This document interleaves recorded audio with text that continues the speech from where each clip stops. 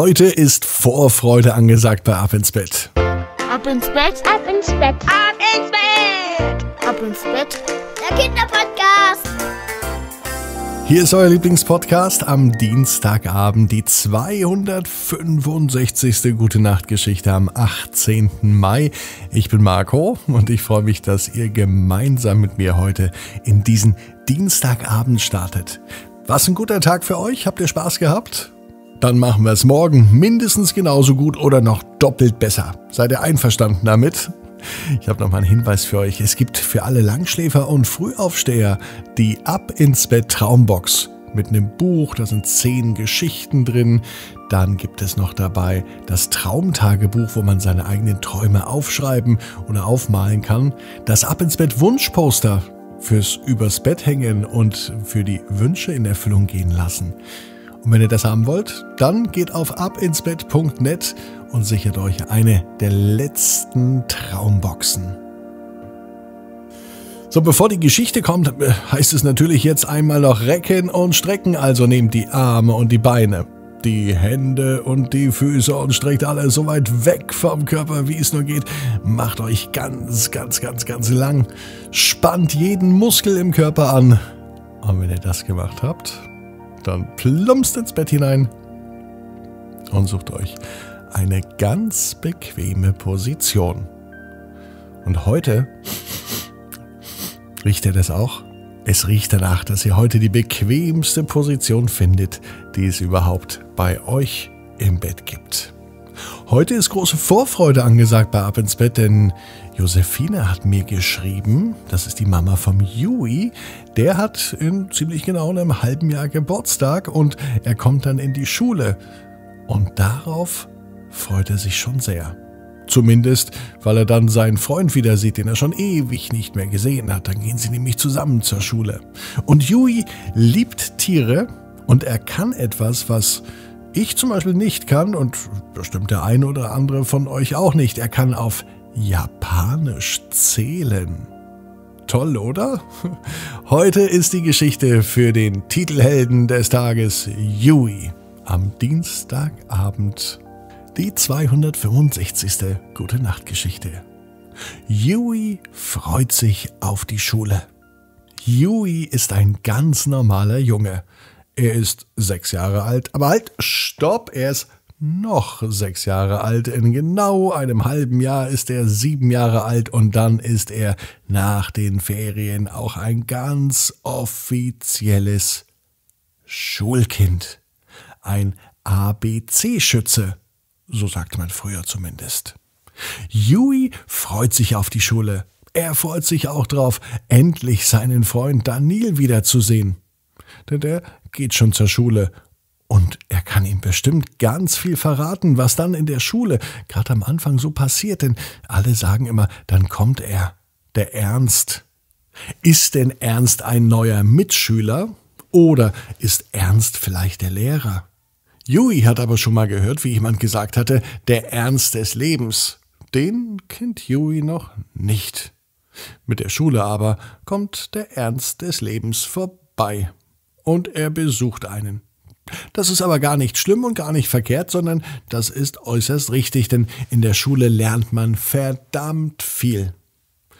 Zum Beispiel rechnen oder schreiben und lesen. Und endlich kann er dann, wenn er im Auto sitzt, all die Schilder auf der Autobahn, die so vorbeirauschen, selber lesen.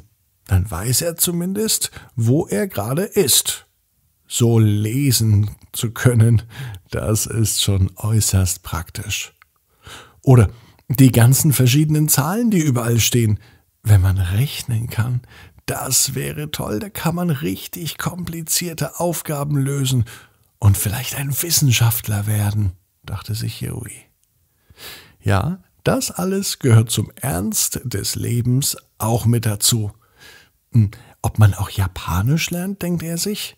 Naja, aber gut, Japanisch muss Yui gar nicht lernen, denn Japanisch kann er ja schon. Dann bleibt er Zeit für etwas anderes. Vielleicht für Englisch. Auf Englisch zu zählen, das lernt Yui bestimmt auch in der Schule. Oder er liegt abends schon im Bett und er zählt zum Einschlafen. keine Schäfchen, sondern hm, wilde Tiere, vielleicht Rehe, die über einen alten Baum springen. Und er zählt nicht auf Deutsch, sondern auf Englisch. One, two, three und so weiter. An einem Dienstagabend, es könnte der heutige Dienstagabend sein, liegt Huey im Bett. Genau in dem Moment, als er die Augen schließt, taucht ein Bild vor ihm auf. Eine riesengroße Schultüte in seinen Lieblingsfarben. Yui kann es gar nicht mehr abwarten, einmal in seine riesengroße Schultüte reinzuschauen. Und dann öffnet er sie. Und in der Schultüte da befinden sich wirklich tolle Sachen. Unter anderem ein richtig toller Füllfederhalter. Und seine absolute Lieblingsschokolade. Der erste Schultag, der erscheint wirklich etwas Besonderes zu sein. Wenn es sogar eine Schultüte gibt, dachte sich Huey. Das ist aber noch nicht alles, denn nebenbei, und das sieht er auch genau in dem Moment, als er die Augen schließt, findet eine große Feier statt. Mit allen, die dazugehören. Und es kommt auch sein Freund Daniel, der ist natürlich auch mit dabei zum ersten Schultag, wenn es die Einschulungsparty gibt bei Yui zu Hause. Die ganze Familie und alle Freunde feiern ein riesengroßes Fest. Ja, so muss es sein, wenn man zur Schule kommt. M Mama, machen wir denn das jeden Tag, wenn ich zur Schule gehe?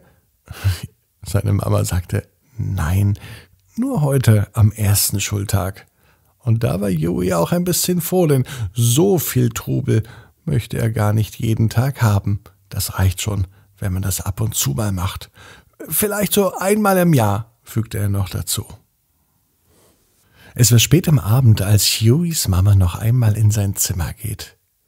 Sie geht zu seinem Bett, beugt sich zu ihm, gibt ihm noch einen guten Nachtkuss und dann hört sie, wie er auf Englisch leise zählt. Six, seven, eight. Und dabei schläft Huey ein. Als er am nächsten Morgen wach wird, sieht er, dass neben seinem Bett etwas liegt. Ein richtiger Füller, ein Füllfederhalter, so wie für richtige Erstklässler. Und an diesem Tag ist klar, was er den ganzen Tag machen wird. Schreiben, Dinge abschreiben und ganz egal ob Zahlen oder Buchstaben denn das neue Schreibgerät, das muss dringend eingeweiht werden.